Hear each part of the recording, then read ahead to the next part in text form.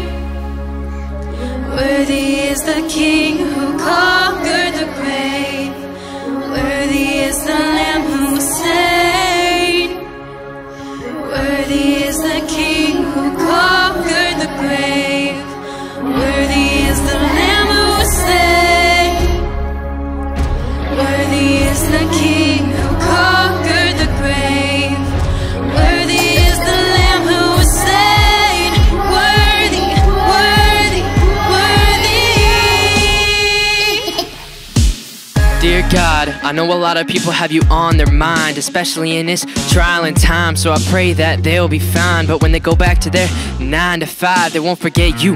The same God that helped them get through. The shepherd that created the sky and the rain was also the lamb that was slain. Put a stain on the cross in the name of us. He wiped the slate clean when his life was taken. But death and Satan, death and Satan were mistaken. Cause the tomb was vacant. The lamb had died, but the lion awakened. Is amazing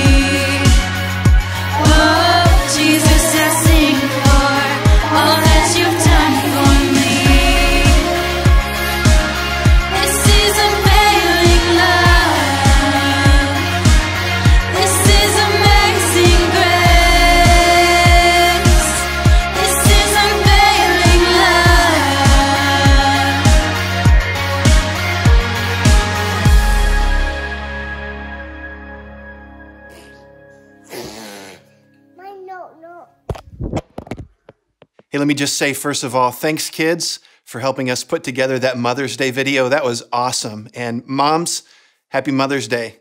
Uh, we love you. We want to celebrate you today. We know that it's difficult to do that while we're away, but we have a unique way to do that today. So why don't you text the word mom to the number that's on your screen right now? We want to recognize and celebrate you in a very unique way, and you'll receive a message back from us. So text mom to that number there as we continue to celebrate you around this special time. Well, let me invite you to, to turn to Luke chapter 18 this morning. I want you to be engaged this morning. So if you have a copy of God's Word or you have a device that you can turn to, Luke chapter 18 is our way of being engaged in God's Word. Uh, there are other ways as we move through this service to be engaged. So you can text the word prayer at any point to the number that's on your screen as well. And we also have sermon guides. If you go to bethel.ch and go to our experience page, you can see adult and kid uh, sermon guides that will help you to stay engaged this morning. Well, you know, sometimes it's moms that make the most significant impact in our lives. It's significant people that make significant impacts in our lives. And sometimes it's even spiritual impact. Um, but other times, there are, let's say, unassuming people in our lives that make significant impact, Un- unimportant and sometimes even unlikely people that make spiritual impact in our lives. I know for me, as a young believer, I'd only been following Christ for a few weeks. And uh, I was at a men's Bible study. And the church that I was attending, it was an evening, midweek uh, Bible study. We went downstairs to the basement. Was the very first time that I'd ever been in a Bible study like that with a group of guys. And we went downstairs and we were getting settled in around our table, drinking terrible church coffee in the basement. And we were settling in, and a man came stumbling in, and there were some, some other men that were greeting him. And I remember that they took this man who appeared to be homeless. They took him, they got him a hot cup of coffee, and they sat him down right next to me. Now, here I am, this new believer. Everything is new to me. And here's this man that not only looks terrible, but now I can tell smells terrible that's sitting next to me. And the men began the Bible study. And they opened up God's word and they began to, to study it and, and talk about um, what the text meant and life application points. And then they began a time of prayer. And as we were moving through this time, I remember several times I was listening to what the men were saying, but I was also noticing what this man was doing. And several times I recall he was just simply dozing off. Well, as we started into our prayer time, it, it became that, if you've been a part of a small group like this, that dreaded round robin of prayer. And so prayer started here and it was going around and it was making its way around the corner. It made that final bend and it was heading towards me. It was almost my turn to pray. Have you ever been there? I was there and it was approaching me, and I had never in my life prayed out loud. And as it was coming around, the man beside me was praying, and then it came to me, and I was determined in that moment before it came to me, I wasn't going to say a thing until it was my turn. And I decided to open up my mouth, and I believe that it was God's Spirit working in my life, brand new. And for the very first time, I opened up my mouth, and these are the words that I said. This is what the Spirit was forming in my, my mind. I opened up my mouth, and for the very first time, I prayed out loud, and I said this. God, whatever it is that you have done in me, I pray that you do for this man. And I just started to cry. Because in that Bible study and in that moment, I had recognized that this man that was destitute, that was drunk, that was sitting next to me, was worthy of God's calling. He was worthy of being saved by the God that had saved me. And as we moved through those moments, I was struck by the fact that just weeks ago, I was this man. I, in fact, as a 20 year old kid, was destitute. I was struggling with addiction. And here I was weeks later. And in those first moments of that Bible study, I was struck by this, this man and actually turned my nose up at what this man was all about. But God, by His Spirit, softened my heart, and I prayed this prayer. And I can tell you to this day, that man, I don't know his name, I don't even know if he's still alive, he made a significant spiritual impact in my life. The man that we're going to look at today in Luke chapter 18 is, is a same, the same type of man. He's an unassuming guy. As a matter of fact, Uh, he's so unassuming that we don't even find out his name in Luke. Now, the other synoptic gospels, that is Matthew, Mark, and then Luke, which we are studying, Matthew records that there are actually, there are actually two beggars that approach Jesus, as we're going to see. Luke only talks about one. Mark tells us that this man has a name. His name is Bartimaeus, but Luke doesn't even name his name. Instead of focusing on the two or focusing on his name, Luke zeroes in on this man. And, and what's significant about this man is not his significance, but it's the significance of the testimony that he gives to what it means to be a follower of Jesus. And so, if you found your way to Luke chapter 18, I, I want you to hear God's word and be struck by this simple, unassuming man and his supernatural ability to point us to Christ. Luke 18, beginning in verse 35, it says this As he, that is Jesus, drew near to Jericho, a blind man was sitting by the roadside begging. And hearing a crowd going by, he inquired what this meant. They told him, Jesus of Nazareth is passing by. And he cried out, Jesus, son of David, have mercy on me. And those who were in front rebuked him, telling him to be silent. But he cried out all the more, Son of David, have mercy on me. And Jesus stopped and commanded him to be brought to him. And when he came near, he asked him, What do you want me to do for you? He said, Lord, let me recover my sight. And Jesus said to him, Recover your sight. Your faith has made you well. And immediately he recovered his sight and followed him, glorifying God. And all the people, when they saw it, gave praise to God. What an incredible story. Well, three things that I want you to see that this blind man sees before he can see. Three things, if you're taking notes, write down the first one, which is this. If we're going to follow Jesus in the way that this man teaches us to follow Jesus, we need to see clearly. The first thing that we need to see is we need to, we, ha- we need to have eyes to see Jesus clearly. We need to have eyes to see Jesus clearly. Now, this story is very simple. If you're following along, just picture in your mind what we just read. There's a beggar, and begging was common in Jesus' day. This man is in a town called Jericho, and we can assume that since he's lost his sight, we know that he lost his sight because he says, I want to recover my sight. At some point, he lost his sight, and he's been begging for an indefinite period of time. And as he goes out and he begs, you can imagine him going out to his place and finding his finding his way there, right? Feeling his way there. I don't, I don't know if you've ever been blind. I, I, have never myself been blind or had any kind of visual impairity. Perhaps you have. But maybe you would even do this with me right now. Would you be willing to just close your eyes right now? I just want you to think about if you if you have your vision, what it might be like to not have your vision. If if you have kids in your living room right now that are watching this, you may want to keep one eye open. But close your eyes here for a second if you don't mind. I want you to picture this. This man, he feels his way like he does every single day to his particular spot. And he's getting settled in. He's seated right where crowds are going to pass him during the day. And he begins to hear the town coming alive. He hears women with clay pots shuffling by to go and gather water. He hears, uh, he hears donkeys braying, and he hears the clomp of their hooves treading the dirt in front of him. He, he smells the marketplace coming to life that day.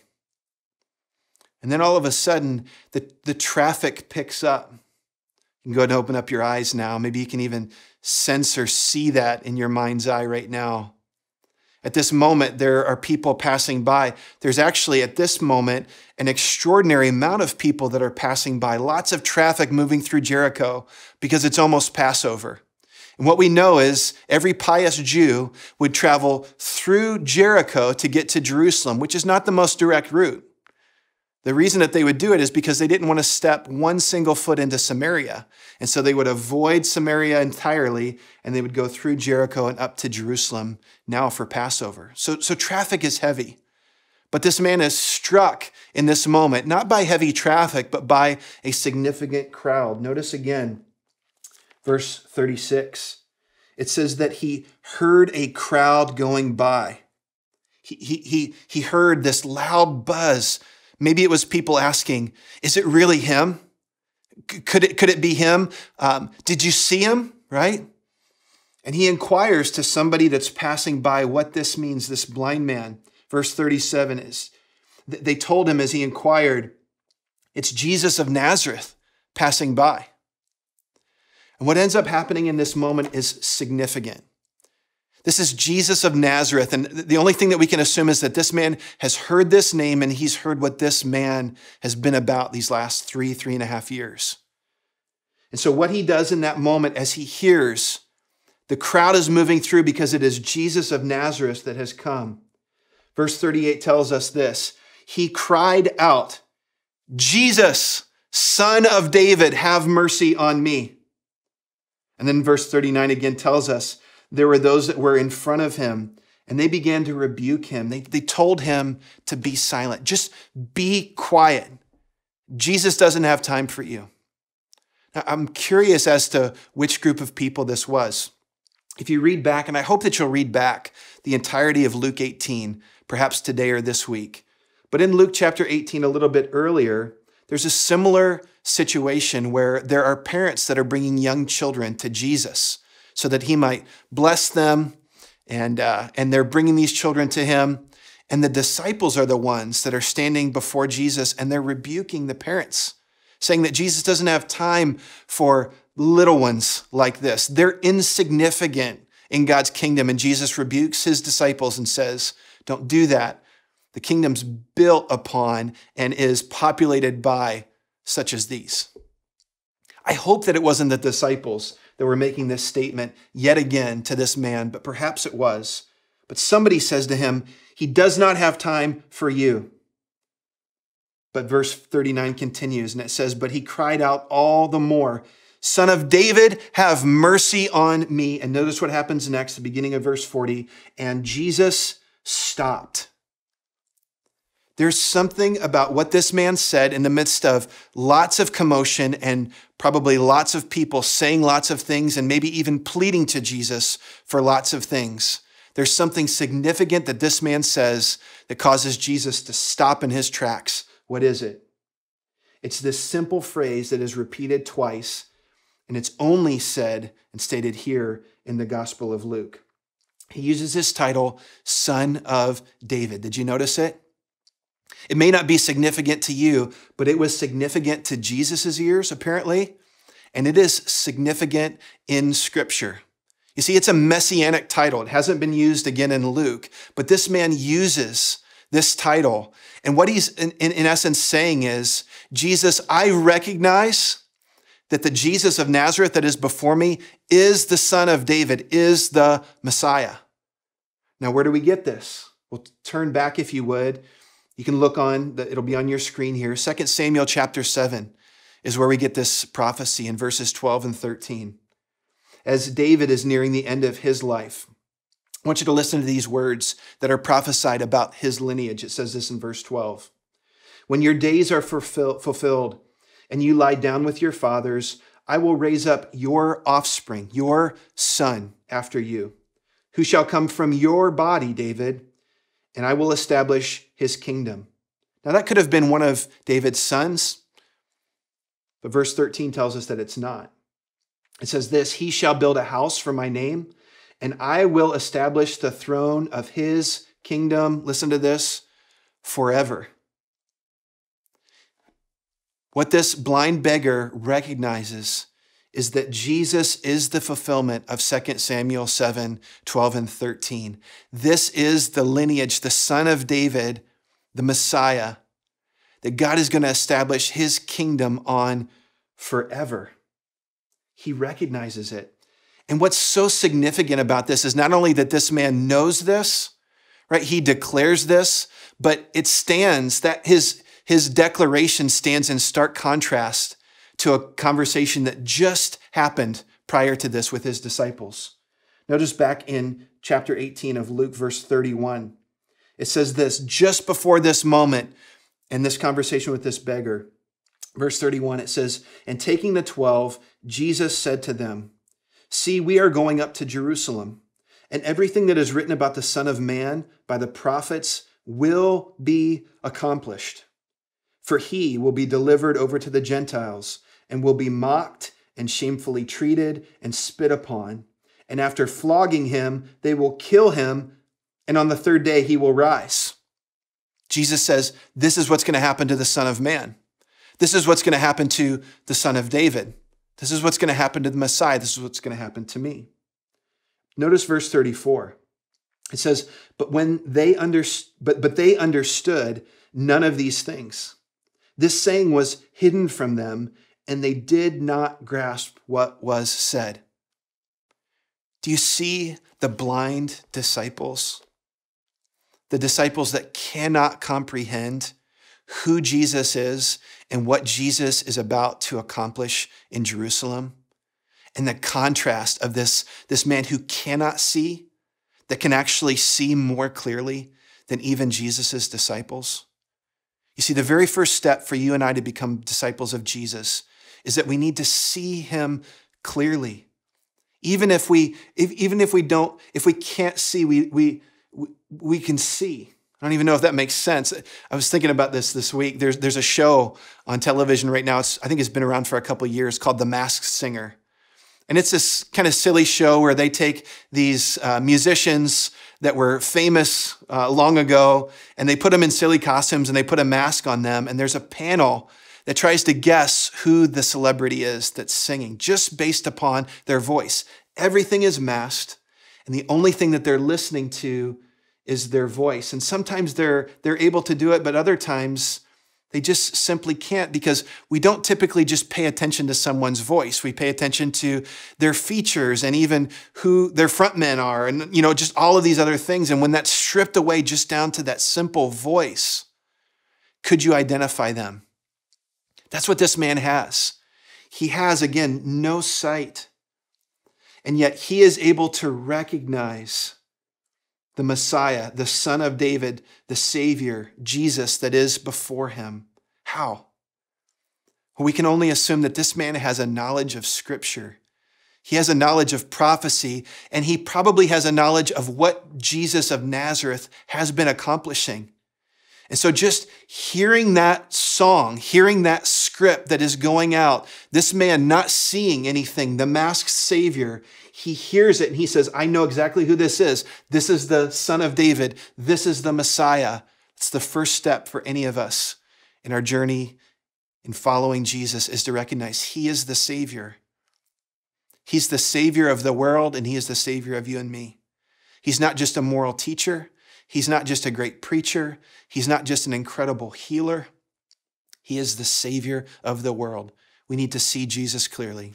Number two, we need to, once we see Jesus clearly, we need to have eyes to see ourselves honestly. You know, I love this guy's gutsy faith. What you see this guy doing, just to capture this again, is first of all, he recognizes that he needs help, doesn't he?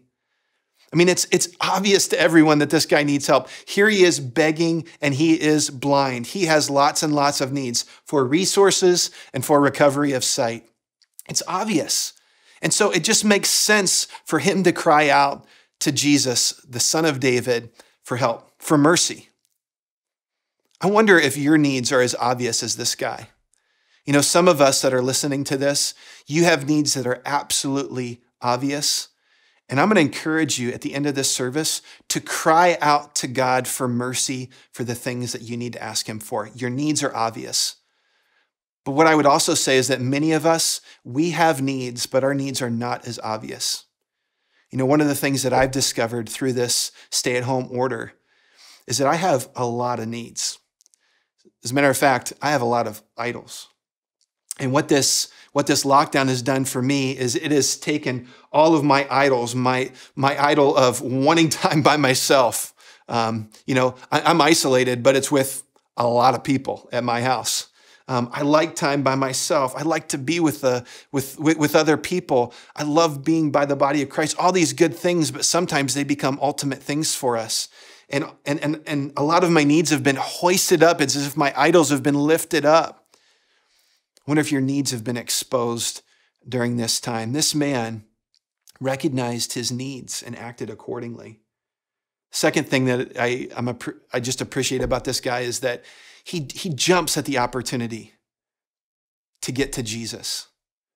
You know, Jesus is passing through, and this man does not know that Jesus will never be through here again. He, he doesn't know. I mean, maybe Jesus is staying overnight. Maybe he's going to be back the next day. He doesn't know and he doesn't assume. And so he jumps at the opportunity to get to Jesus.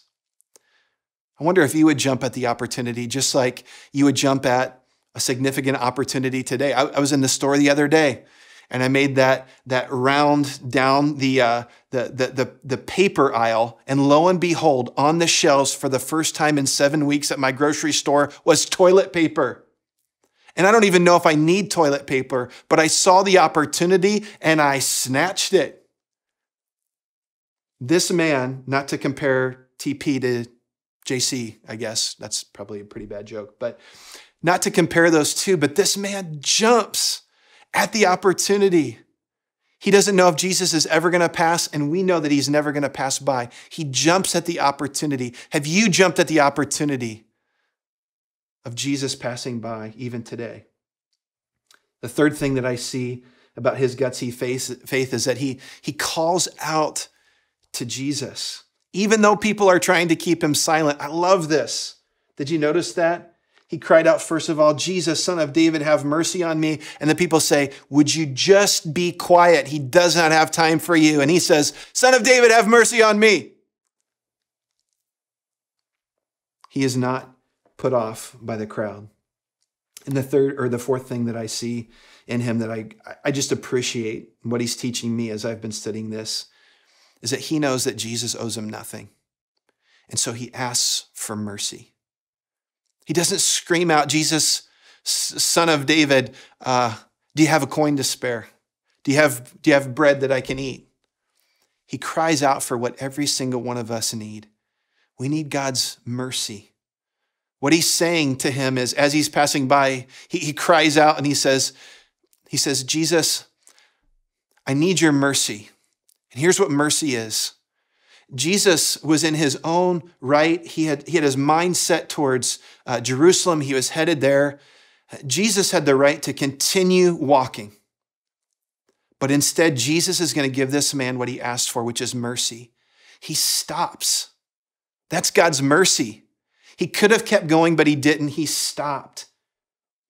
I want you to write this down if you're taking notes. God's mercy means his kindness.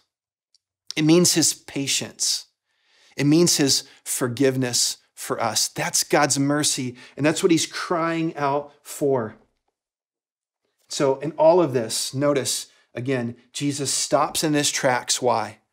First of all, he recognizes that he is the Messiah.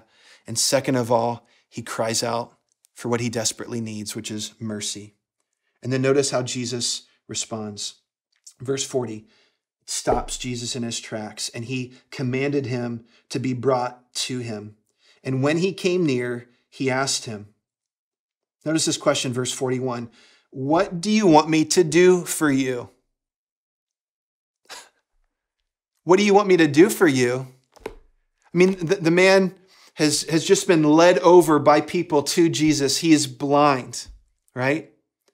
And Jesus asked the man, What do you want me to do for you? Want you to think about this. Jesus is really giving this guy a, a blank check, isn't he? What would you have me do? If you could have me do anything for you, what would, me, what would you have me do? And I love what this man asked for because he could have asked for coin. He could have asked for bread. He could have asked for his enemies to be squashed. I'm sure that he had plenty of people that said nasty things to him. He could have asked for anything. And yet, what he asks for is not bread or coin. He asks for a miracle. He asks the Lord, verse 41, Lord, let me recover my sight. I love that. You know why? because he believes in asking that question that Jesus can actually fulfill his request. He believes that Jesus has the power to restore his sight. I wonder if you had an opportunity, if you had one shot to ask the God of the universe for one thing, what would you ask him right now? I wonder if, if, if you're watching this with somebody right now, why don't you turn to them right now and say, if you could ask the God of the universe for one thing right now, what would you ask for? Turn right now and ask somebody that question. This man asks for his sight. He asks for a miracle. I wonder, I wonder if sometimes our prayers aren't too small. That we often settle for the bread as opposed to asking for the miracle. I want you to think about this statement. The scope and the significance of our prayers reveal the size of the God that we serve. The scope and the significance of the prayers in which we ask reveal the size of the God that we serve. If we were to measure the God that you serve by the size of your prayers, how big would your God be? This man asks a big, bold prayer. He asks for a miracle. And notice what happens. Verse 42 Jesus said to him, Recover your sight. Your faith has made you well. Jesus draws attention to this the means, the conduit, the mechanism by which he is able to recover his sight. Did you notice it? It's faith. It is faith to believe the miracle. It's faith to believe that Jesus can do this. And so he reaches out and he asks that question Would you, would you help me recover my sight? And he gets exactly that. It is incredible what we're able to accomplish by faith when we ask. But, but let me go just one step further. Did you know, and I know Pastor Dave talked uh, about faith last week, and there are a lot of great talking points about faith. This man, by faith, is able to recover his sight because of Jesus. But did you know, even the faith to be able to ask is a gift? You know, if you go to Ephesians 2 8, you see, you, you see that faith is a gift, right? Many of us are familiar with this text in Ephesians 2 8, where it says, For by grace you've been saved through faith. And this is not your own doing, it is a, what's the next word? Gift of God. It's a gift. Or if you turn to Philippians 1:29, it says this that those of us that believe, it says it has been granted to us or gifted to us to believe. Faith is a gift that God gives us. I wonder, friend, are you leveraging that gift that God's given you of faith? This man is able to humbly leverage it. He sees Jesus clearly, he sees himself honestly, and point number three is this we need eyes to see our calling humbly. In the midst of highlighting all of what it means to, to be a disciple in Luke chapter 18, don't miss the fact that this blind man becomes a disciple. It's, it's, it's simple language. It's actually technical language that Luke has used in the past. But verse 42, as Jesus commands, recover your sight, your faith has made you well. Notice verse 43, and immediately he recovered his sight.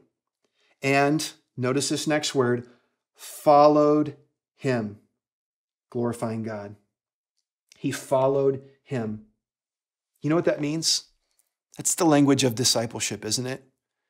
He followed him. He became a disciple of Jesus. Mark is going to tell us that he actually joins Jesus on the road. Like he gets in line to where the crowd is going as Jesus is making his way to Jerusalem and just joins in. He becomes a follower of Jesus, a disciple. You know what I think is, is trying to be highlighted here by Luke through the power of the Holy Spirit and Jesus pausing in this moment? is that he takes this man as, as he's entering into Jer- Jer- Jericho and before he goes to Jerusalem, and he has this, this next to last, and we'll see another example next week, but uh, he takes this man and he shows him who he makes his disciples. Don't, don't, don't miss this. Jesus takes the unlikely, he takes the, the ordinary, the unassuming, and he calls those individuals to follow him. I love this example for the 12 disciples that at that point were following him. This man gets in line, recognizes who Jesus is, recognizes who he is, and his great need for God's mercy, and gets in line and starts following Jesus. And I wonder if this wasn't a lesson for the 12 as they look on. Just like me, sitting beside that, that drunk, homeless man with my nose up at one point and then my nose down, dripping with tears because I recognize that I am that man. I wonder if that wasn't a lesson for those disciples. And guys, I wonder if that isn't a lesson for us today. This is the picture of every single one of us. To take it one step further, Paul actually, as, as he's writing and discipling from a distance, uh, the, the, the believers in Corinth, you, you might recall that the church in Corinth was a, it was really a mixed bag. I mean, you've got all kinds of people that are coming to faith in Christ. And um, you've got people that are uh, professing faith in Jesus, but they have just gross immorality all over the place. So that's kind of one side of, of this church. And then the other side is you've got these people with these amazing gifts. Like you had these incredible experiences of these apostolic gifts. You've got prophecy. You've got people like, no joke, speaking in tongues. Like all of these amazing things are happening. And you can imagine with all of those incredible gifts, in light of the deficiencies of some of those disciples, some of those people that have those incredible gifts, especially speaking and prophetic and you know miraculous gifts, they, they might get prideful, right? I want to remind you of, of Paul's words in 1 Corinthians when he says this to the disciples in Corinth. He says this in verse 26. He says this, for consider your calling, brothers. Like, consider the, the fact that you were called to Christ, just like this man was called to Christ. Do you remember why you were called?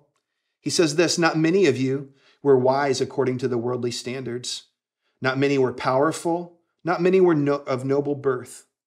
But God chose what is foolish in the world to shame the wise. God chose what is weak in the world to shame the strong. God chose what is low and despised in the world, even things that are not, to bring to nothing things that are, so that no human being might boast in the presence of God. Verse 30 And because of him, you are in Christ. And um, you are in Christ, who became, that is, Jesus became to us wisdom from God, righteousness, and sanctification and redemption, so that, as it is written, let the one who boasts boasts in the Lord. This reminder to the church in Corinth is a reminder to his disciples, is a reminder to us that if we are found in Christ, it is because we are the unlikely. We are the unwise. We are the not so powerful of God. Isn't that incredible? That we could be disciples of Jesus as the unlikely. You know, as we wrap this up, I hope that you have time to walk through the entirety of Luke chapter 18. What you see in there are a group of individuals that get an audience with God, and even this man ends up being a follower of Jesus. But there's another group of people that end up not being able to follow after God. Let me just give you a glimpse, and I hope that you'll go back and you'll read this. In our stories, there are three undignified people that we see. The first one is this persistent widow. She, she just wants justice, and there's no one that's giving her justice. And so she goes to the judge and she keeps asking and asking and asking. And in her persistence, the judge says, Fine, you can have it. And she's shown favor. The next one is this tax collector who is going up for worship. And there's a Pharisee that's trying to worship, but this man, he's so broken by his sin He's on his knees, beating his chest and just crying out, God, have mercy on me, a sinner. And then the last one that we see is the beggar here. Three very undignified people that receive what they ask. In contrast, in Luke chapter 18, we find two dignified people. The first one is a Pharisee that we see, and he is going up to the temple and he is praying and asking God to show him favor because he's just better than people like this tax, tax collector that keeps beating his chest. He's, he, he's, he's dignified in his righteousness. The other, the other picture is a man who's very rich that approaches Jesus and says, How do I enter into the kingdom? And he says that he obeys all the commands, but Jesus says, I want you to give away all that you have and come follow me. And the man cannot follow Jesus, Jesus because he's too dignified in his riches. You know the difference between these two groups? This is what I want to leave you with. It, it, it's this that one group walks away with nothing and one group walks away with everything. The group that walks away with everything, they were desperate. The group that walks away with nothing, they were dignified. They were prideful. Friend, I want to challenge you in this way. Would you let your desperation overwhelm your dignity? Would you let your desperation be your cry, regardless of what it looks like? Lay your pride and lay your dignity, dignity and lay your, your self respect aside. And with desperation like this man, cry out to Jesus, the Son of David, for his mercy. Ask him in, in desperation, overwhelming your dignity, ask him what that one thing is that you need. Ask him for the miracle. Ask him for that big thing because he is a big God. Let your desperation overwhelm your dignity. And then, number two, let your desperation overwhelm your discipleship. We are desperate not only to know Christ, but to be found in him and to walk in a manner worthy of the calling to which we've been called, Ephesians 4 1. We, we want to be found in him. Life with Christ starts now and lasts forever. And we want to be desperate disciples that just hunger and thirst for him above all else. Will you do that today? For those of you that are watching this and you are not yet followers of Jesus, if you don't yet know Jesus, I just want you to know this it isn't because he won't have you, it's because you haven't cried out to him yet. Do you know if you cry out to him right now, he will stop in his tracks as he passes by even now and attend to you. And those of you that are followers of Jesus, I want to challenge you to be grateful for his mercy. He's called us, he's opened up our eyes. We have the privilege of following him for a lifetime. Let's follow him in desperation. Lord Jesus, we ask that you would give us eyes to see, ears to hear, hearts that beat for the things of you. Father, we want to see you at work even now in our separation, in, in, in the struggle, as needs have been brought to our attention. God, we want to see you at work. So, God, continue to do your incredible work. Thank you, Jesus, Son of David. Thank you, Jesus of Nazareth. Thank you, Jesus, Son of God, that you are very aware of what we need. So, Father, we just, we recognize your Son. Help us to see him more clearly. Help us to see ourselves more honestly.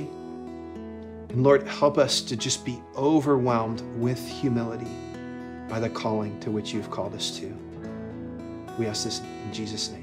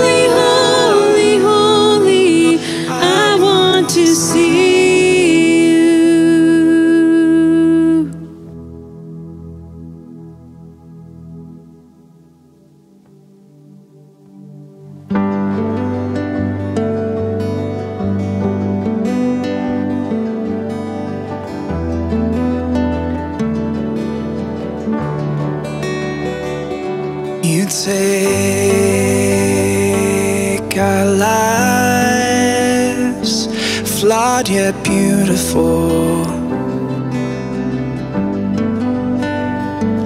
Restore,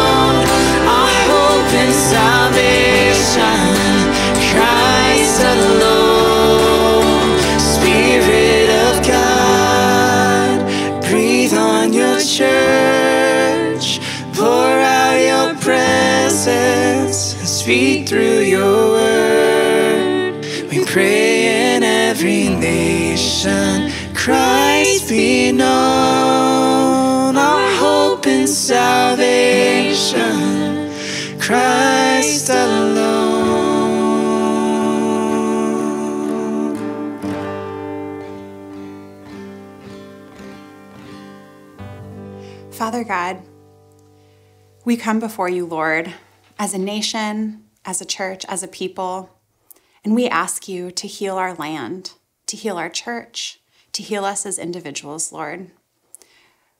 Would you speak into our hearts and draw us near to you? Would you open the eyes of our hearts, Lord, to what you have for us right in front of us today, that we might not miss it in the midst of all that's going on around us, that we would seek you and draw near to you and grow deeper with you.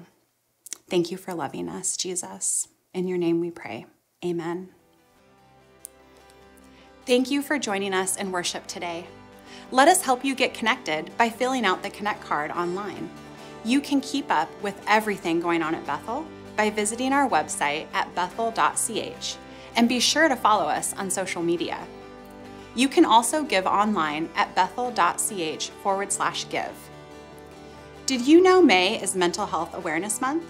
As the church, we want to speak into the space where mental health and faith connect. In the midst of the global pandemic, you may be feeling more isolated than normal. Unwanted thoughts, overwhelming emotions, and conflict in your home may appear more frequently and lead to anxiety, depression, and loneliness. You are not alone. In an effort to help provide resources for those who need support, our Care and Compassion team will be hosting a series of webinars in May focused on issues surrounding mental health and healthy relationships. Join us for the next three Wednesdays from 7 to 8 p.m.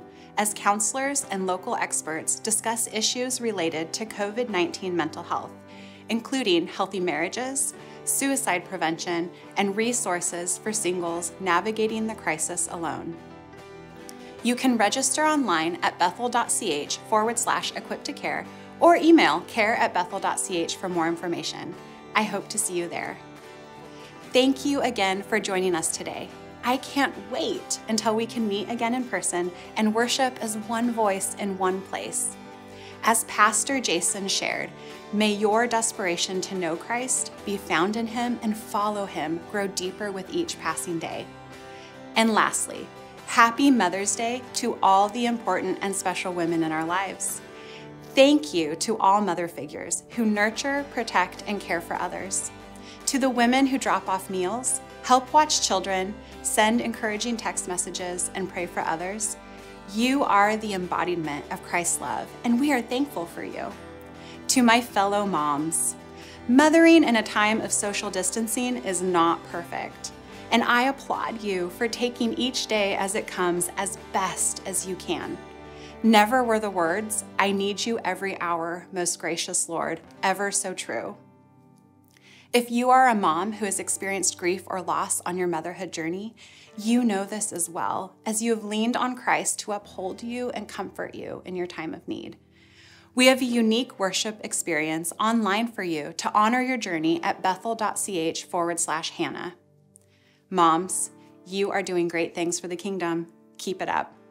Moms and mother figures, text MOM to the number on your screen for a free coffee. You deserve it. Thank you for loving us well. Hey, everybody. Thanks again for joining us today. Have a great week, and don't forget to celebrate all the women in your life. And especially your moms. Happy Mother's Day! Happy Mother's Day! Woo, woo.